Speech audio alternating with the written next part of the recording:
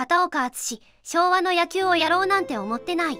片岡が気にかけているのは一昨年のドラフトでアジア大学からドラフト6位で入団した二塁手の田中幹也だ。ルーキーイヤーの昨年はキャンプから好調を維持しオープン戦では一時首位打者にところが開幕を前に一塁への帰塁時に右肩を脱臼し手術を受けて前半戦を棒に振った。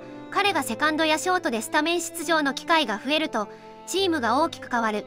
しかしキャンプで無理をさせてもう一度怪我をしてしまったら今度は選手生命に関わってくるかもしれないトレーナーの意見にも耳を傾けながら田中の状態を見守っていきたい。立浪という PL 時代からの盟友とコンビを組みチーム改革を進めてきた。だが PL 的とも言える昭和の野球を今の時代に持ち込んでいるわけではない。片岡はその点を強調した。また田中幹也の話してる。頭うれいにゃかよ。昭和の野球をやってないならなんで完封負けが急増したんや？昭和なのは野球ではなく体質でしょ。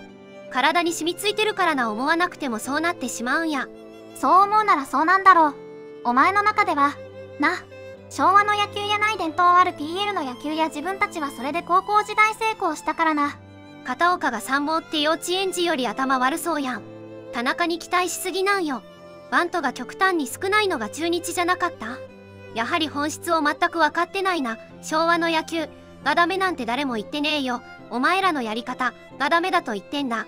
どうでもいいけど世代的に畑津波も平成の人間だろご視聴ありがとうございました。